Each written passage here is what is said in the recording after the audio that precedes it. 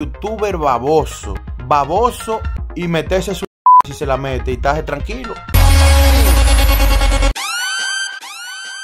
Ángel Music Juqueo Musical. Otra vaina. Saludo mi gente, esos suscriptores que son fieles de Ángel Music Juqueo Musical. Señores, hay que ponerle un paro a esto que está pasando, porque todos los views no se buscan. Hay un sinnúmero de youtuber baboso, baboso y rastrero que se han dado la tarea de decir que Anthony Santos se va a retirar, que llegó el retiro de Anthony Santos.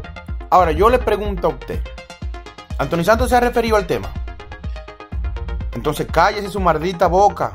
Anthony Santos es el único artista que sin hablar genera, genera información. Anthony Santos tiene una fiesta el 13 de enero, sábado 13 de enero en Castañuela. Yo espero que el día que se va a retirar en esa fiesta.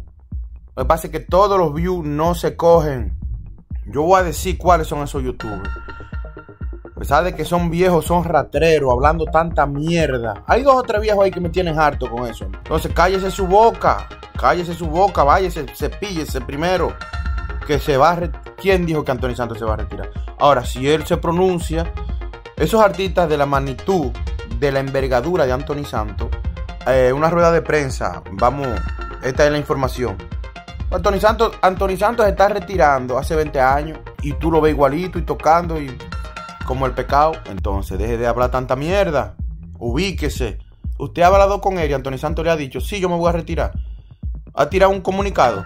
Entonces, deje de, estar... Lo que usted tiene que hacer es que beberse su romo y meterse su... si se la mete y estar tranquilo. Porque eso me tiene harto a mí. ¿Que retiro de qué?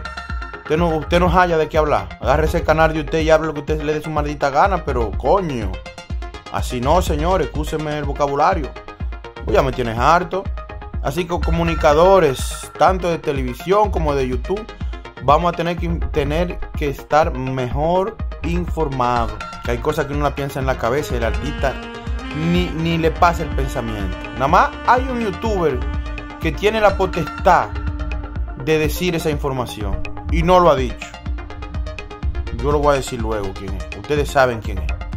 O pónganme en los, comentarios ver quién es. El reto es Buchipluma nomás, señores. Gracias por ver el video.